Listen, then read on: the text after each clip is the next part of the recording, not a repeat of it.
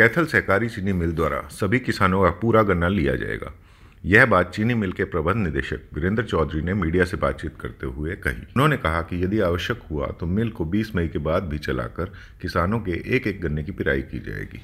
मिल प्रबंधन द्वारा मिल की प्रतिदिन पिराई क्षमता को 2500 क्विंटल और बढ़ाया गया है तथा ज़्यादा गन्ने को मद्देनजर रखते हुए अढ़ाई लाख क्विंटल गन्ना 20 अप्रैल के बाद शाहबाद मिल में भेजा जाएगा।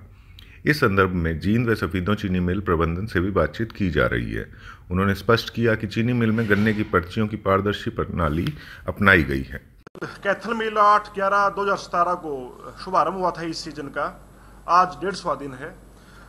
आज तक टोटल पैंतीस लाख तेईस हज़ार आठ सौ क्विंटल गन्ना क्रश कर चुके हैं। डेली का जो कैपेसिटी है, हमारी पच्चीस हज़ार क्विंटल की है, उससे हम ऊपर ही जाते हैं डेली की पिराई में।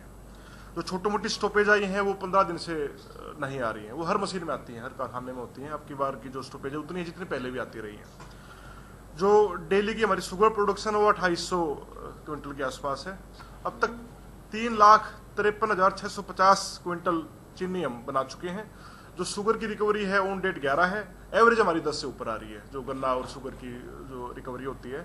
किसानों की जो पेमेंट है 77 परसेंट हम कर चुके हैं। बाकी की 24 परसेंट भी 23 परसेंट जल्द ही कर दी जाएगी।